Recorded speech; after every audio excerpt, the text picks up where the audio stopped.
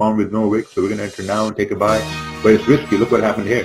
This candle had no wick, but the next candle went down. You know, it was a probability. Now you have to, so if you're looking for buys, you need to wait for a candle to form bullish. But you can't even take a sell here because you're at this this very strong um, resistance turn support, you know, so you can't even take a sell because next candle can just move up or next candle can just move down. But if next candle moves down below this area, let's say, uh, my arrow? Yeah, below this area, then you know, okay, we're probably going to move down over here, right? Destination. So we're going to wait to see how this candle forms. There we go. We have this weak bearish candle. What do we do? So these now, you have to understand, these are 30 minute candles, right?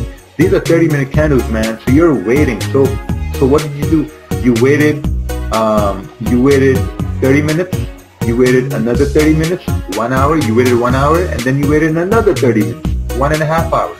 You waited, you waited one and a half hour and all you see is this bullshit mini bullish candle. Like this means nothing. This is a write-off. Look, price opened over here and it closed over here.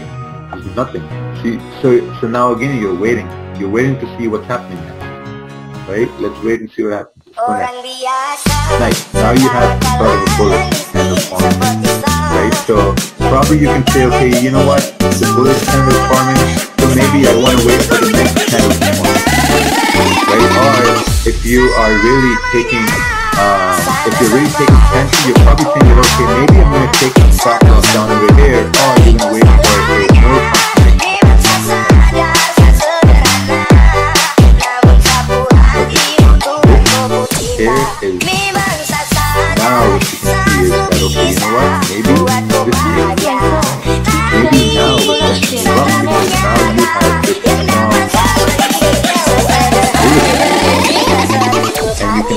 okay, maybe now it can work. Now when you have this kind of form, you can easily that, okay, now what we can do is we can probably have a stop below here, or we can even have a stop below here and say that as long as price stays below level, it should be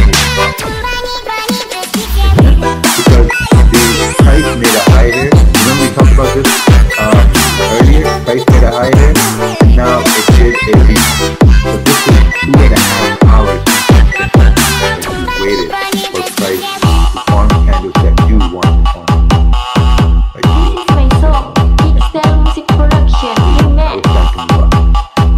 Up till this region, right? And since we moved to this region and we are good traders, we took profits and maybe we put stops at break even because we identified that, okay, price is moving into uh, this resistance area, which is where it might have some issues, right? So you took profits, you put profits at break even and you let it run. Let's see what happens, see? You, this is a golden trade now. All because you waited for confirmations, you waited for price to form some sort of a support, you waited for price to form some sort of a, a bullish candle so you know where your stop loss is going to be. Because once you have a bearish candle, you don't know where your stop loss is going to be. Will it be down over here? Fuck that. That's a big stop loss. So you want a bullish candle formation. So you can say, okay, I'm going to have a stop loss over here, man, because you know, probability dictates that once bullish candles are formed on the 30 minute or the 1 hour, there's a higher chance it's going to continue. And let's see what happens. And then, you know, like, whatever, and then you got stopped out or whatever. And then now when you look left, you see the price came down to the same area, created this doji, created this bullish candle. So, like, you know, and then when you try to take a buy over here, what happened? You got stopped because you overtraded right? And then you turn on and say, oh, hey man, why did I get stopped out? And then the answer you're going to get is, well, you take one trade. One trade a day keeps the stress away. So you took this trade in New York, London overlap, and then you tried to take another trade after London closed when the volume is dying, and what happened? Your trade died with it. okay, so um, hope this was um, hope this helped some people because you know I tried to keep it as simple as possible.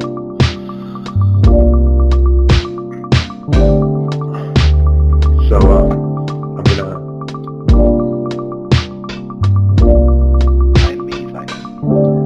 All right, this Ted. Okay, Ted.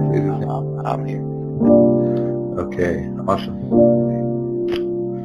That was pretty good. That was pretty good, Rico. It's like you know what you're talking about. Yeah.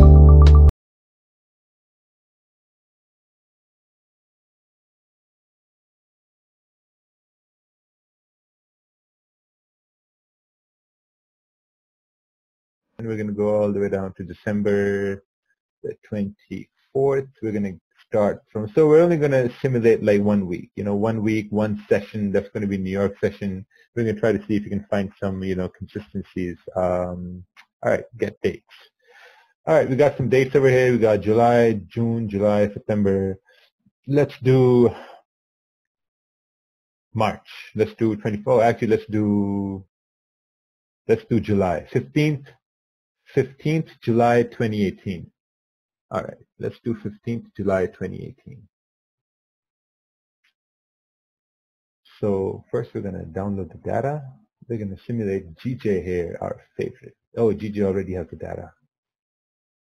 Oh, someone said June. Okay, what was the June? I think June one was the 24th June. All right, let's do 24th June. 24th June, GJ, we got GJ over here. Uh, 24th June, the 24th. What we're going to do is we're going to keep, uh, we're going to start with 5,000. Uh, time is to be near close, leverage, nah, let's do like 1 to 200, no big deal. Uh, initial history on charts, 100 days, that's what we want. All right, lock and load. From here, we're going to add the charts. We're going to add the weekly. Actually, the um, yeah, we're going to start with the weekly. If anyone's wondering what's the name of this simulator, I know a lot of people are going to message me again now asking me. The name is right down over here. You can see it right over here. It says the name Soft 4 FX.